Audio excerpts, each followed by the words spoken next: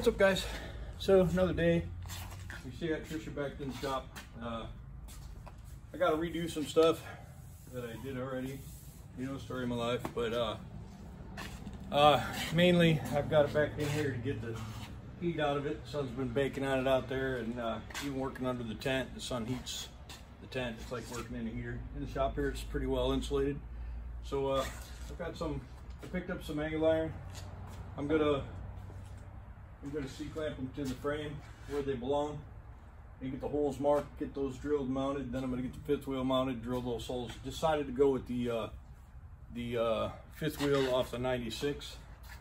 Um, I believe it's a newer model than that. It's probably replaced sometime in the last few years. It looks like it's in pretty good shape and it's the new style. You know where the angles are bolted to the frame and the uh, fifth wheel sits on the angles on on the outside of the frame. And that way, if I do get a new one, it'd just be pop off the bolt, slap it on, and it's good to go. No more drilling and all that other crap. So uh, I'm gonna do that, and I'll probably run a time lapse on that. Uh, go over some bolts, check, make sure things are tight, a little bit more touch up in the front up there. Maybe even do the uh, other tank straps, get them uh, wire wheeled and painted, new rubbers put on, and get those installed. That way both tanks match. Uh, so we're, we're narrowing it down. Still got to get wiper blades. Um, uh, was supposed to do that today and forgot, so I'll probably run and do that tomorrow. If I have the uh, fifth wheel done tonight, I'll run tomorrow and get new wiper wiper arms and blades. And uh, check that AC, see what's going on with that. Maybe put a little uh, squirt of gas in there and see how that goes. Uh, so put you on time lapse. Thanks for watching.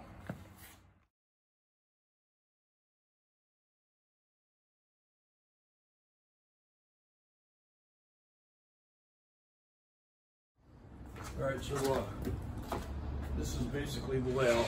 Got them set on here. I'm gonna add another clamp and uh, square this up.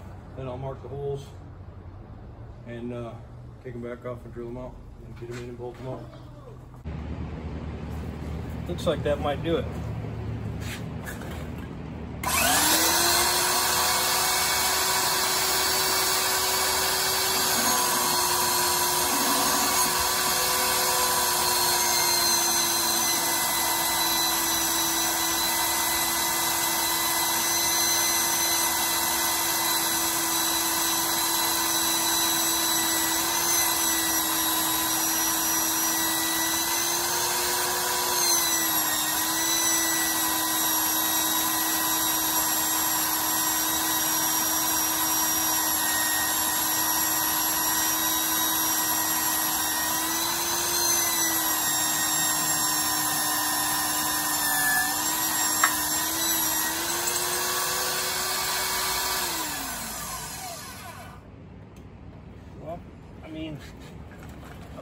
Have to admit that was one of the easiest holes I've ever drilled. And, uh, you can see a little better.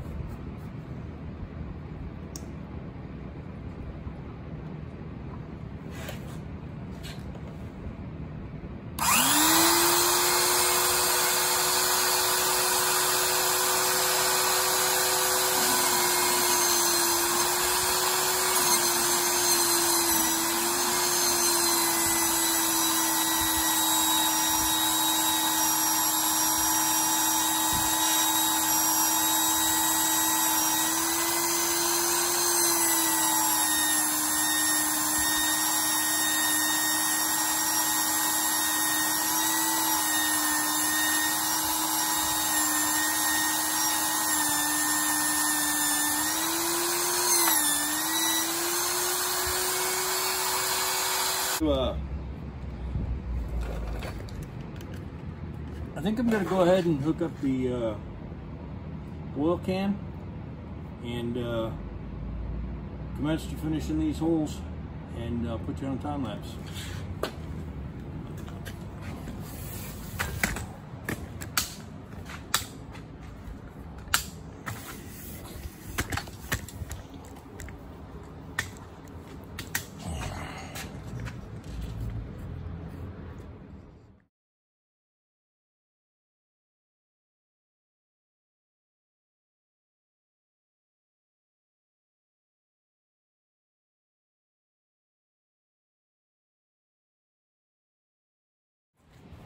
Well, the mag drill, mag drill works good. Um, you know, it's not perfect and uh, all, but if it's if it's good enough, I know it's good enough, right? So I'm gonna, gonna clean this up a little bit and uh, I'm gonna try and put it on there and see what it looks like.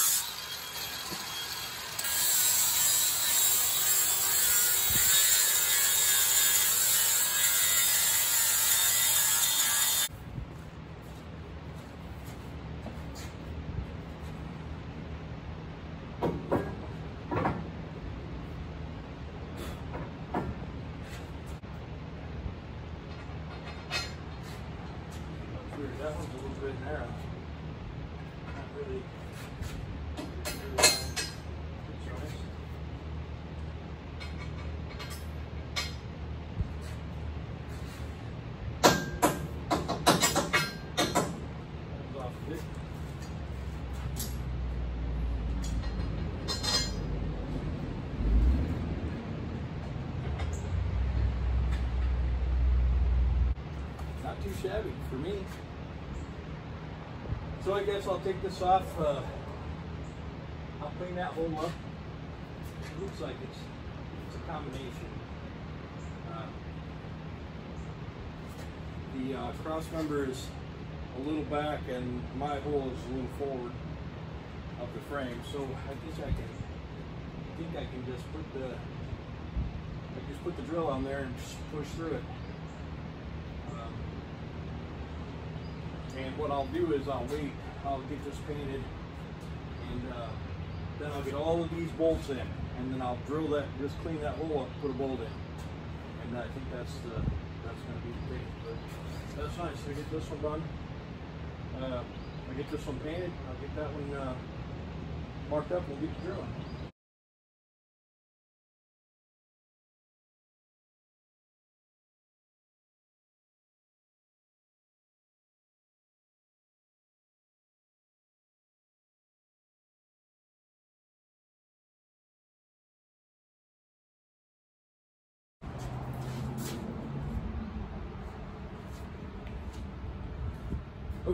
So uh, one, two, three, four, five, six, seven, eight, nine.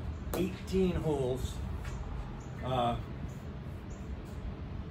lining it up, spray painting, visual center punch, magnetic drill. Um, 17 of 19 holes lined up perfectly. And uh, and actually the ones that don't, it's it's just the fact that this uh, uh, cross member is moved, so I'll just have to little pry it into place. So, you know, I can't really complain. I'm going to uh, I'm going to primer the the insides and uh, bolt it together, and then I'll prime and paint the outsides um, after it's on. That way, I don't scratch it all up, and uh, then I'll let it dry overnight. Uh, it doesn't look like we're going to get any weather overnight, so I'll pull the truck out. We'll let it dry overnight, and uh, and tomorrow I'll uh, set the fifth wheel on, get it square, and mark the holes and drill those. It looks like there's about, uh, let me just look real quick. And we should be good to go. I'm gonna, I'm gonna try and get, uh, try and get it buttoned up tomorrow, and then maybe Friday we'll take it on a drive, and I'll uh, test the, test the hoses, make sure that the trailer stuff's all working, the lights are all working, and then maybe uh, Saturday we'll make the trip and uh, go pick up the trailer. Have no idea where I'm going to put it, but it'll be cool to have it here. Uh, so I'll just get going.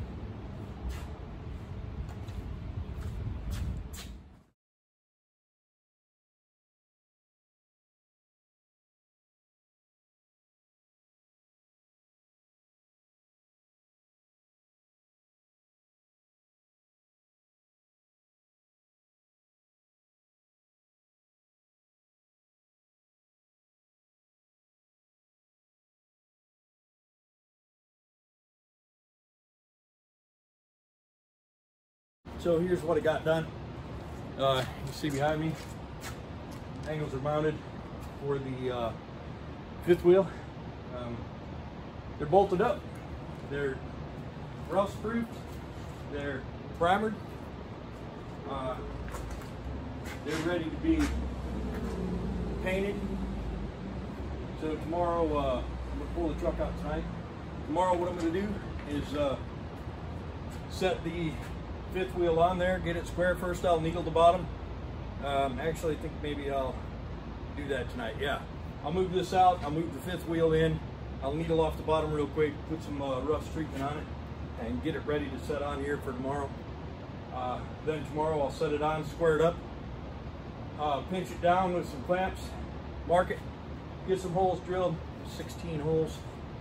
Um, then I'll need to go get some bolts get some grade eight, uh, I think they're gonna be half, grade eight half, and uh, get her bolted on, find the air line that unlocks the thing, get that plumbed in. Uh, maybe I'll hit it with the pressure washer. I scraped all the old grease off it. Hit it with the pressure washer, get it bolted down, make sure it works. I don't even know if it works, uh, it wasn't mine. And then uh, once I have it on and working, uh, then it's good to go. Then I need to change two valves and these just like that I can do tomorrow.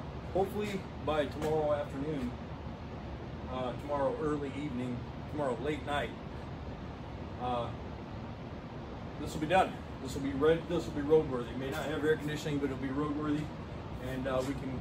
Uh, don't let me forget. I got to check the grease and the diffs, uh, and the trans. I'll check the fluids in the trans and the diffs, and this thing will be ready to go get the trailer. Um, don't know if I'll have time to change those straps before we go, but uh, it's not mission critical. So uh, I think what it comes down to now is just doing a little cleanup, getting this out of here, getting the uh, fifth wheel in here, needling the rust off, get it a little spritz, and uh, be done for the night. So put you on time lapse.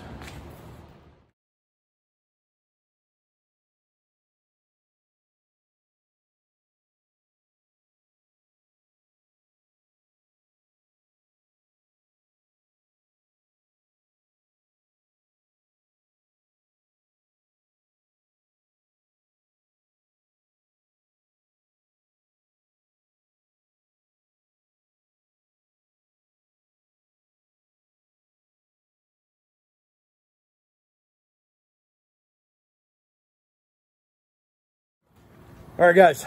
So there it is. Fifth wheel's uh, all needled off, wire wheeled, and uh, rust coated. I'm leaving the shop a mess. I'm tired. It's late. And when I say late, it's like six, uh, maybe seven. And uh, I'm pooped out. So it's ready for it's ready for me to set the fifth wheel on, mark and drill the holes, and uh, bolt it on. Run the air and the fifth wheel's done. I wanted to have that done today. It was the thing I was worried the most about. Ended up not being so bad. It took me half a day. Uh, cost $180 for a 20 foot piece of 3 8 4 inch by 3 inch angle iron. I mean, the prices of stuff it's just unbelievable. But you know, you got to have it. You got to have it. So, uh, that's all for today. I'm, uh, tuckered out. Appreciate you coming by. Don't forget to like, comment, subscribe, and, uh, we'll see you.